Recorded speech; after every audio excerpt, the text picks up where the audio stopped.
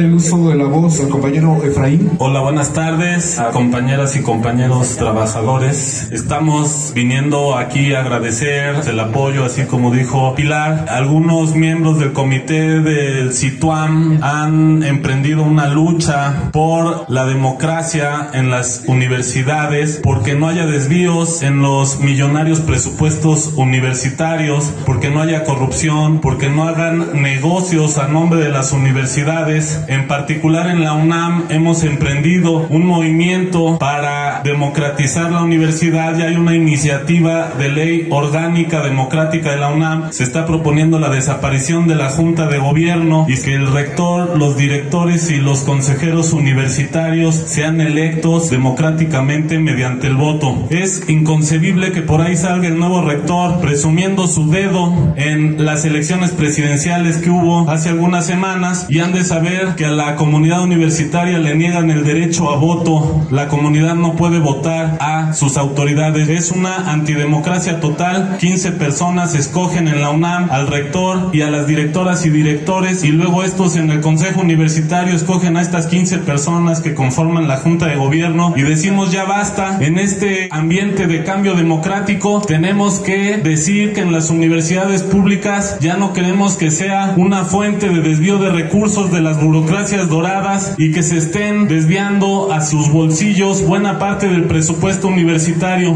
Hay denuncias incluso de cómo desvían recursos que luego son amortiguadas y las meten al cajón en estas universidades. Entonces queremos agradecer, queremos decirles que estamos luchando por esto. El compañero Juan Manuel y yo fuimos despedidos injustificadamente. Ya está en puerta nuestra reinstalación, nada más que el director de la Facultad de Ciencias está alargando lo más posible porque se le cayó la fabricación, se ha ganado todo afuera de la UNAM, no hay pruebas, las autoridades universitarias intentaron hacer una cortina de humo utilizando mujeres para hacer denuncias fabricadas y afuera no han ganado nada porque afuera no son juez y parte como dentro de la UNAM lo son. Y bueno, ya hemos venido con ustedes, les agradecemos su apoyo y ojalá también los veamos codo a codo luchando en este movimiento en contra del poder que les da a las burocracias doradas la distribución del presupuesto puesto universitario y su desvío en muchas universidades públicas del país. Hasta la victoria, compañeros del Situam.